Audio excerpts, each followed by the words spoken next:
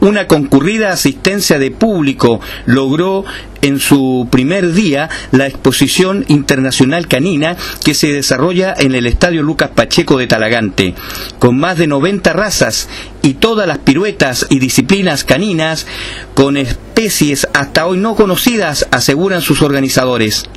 Tenemos eh, tres exposiciones, cuatro jueces, dos nacionales, un español, un italiano.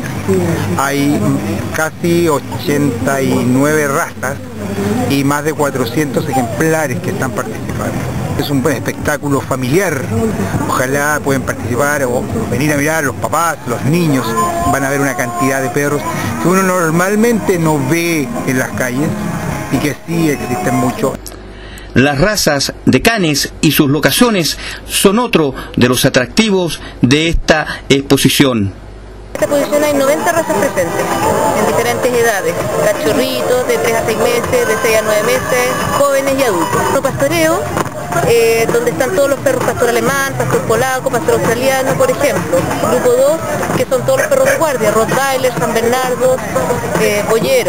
Grupo 3 son todos los terriers, los Yorkie, que le gustan mucho a la gente, los eh, Bull Terrier, grupo 4 los Dachshund, grupo 5 los perros de trineo, Alaska Malamute, eh, Shiba Inu, Siberia Husky, grupo 6 los sabuesos, los Beagle, los Basset Hound, grupo 7 el Pointer, son los perros de cacería, Pointer, grupo 8 los recogedores que son los Golden, Labradores, calor, grupo 9 todos los perros de compañía, los chiquititos, los malteses, los chihuahuas, y el grupo 10 los lebreles, que son los que corren detrás de la casa, afganos.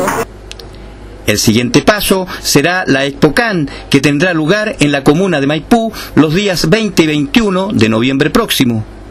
Además aprovechamos de invitarlos cordialmente para el día 20 y 21 de noviembre junto con la Municipalidad de Maipú en la ExpoCan 2011 eh, que se va a llevar a cabo en el Parque Tres Poniente en dicha, eh, en dicha comuna vamos a llevar a cabo una exhibición también de perros de raza junto con el, con el Agility, donde perros saltando, van a estar los perros del PDI, los perros de Gendarmería, los perros de Carabineros de Chile, junto con, el, con su banda instrumental, una cosa diferente, linda, para disfrutar en familia.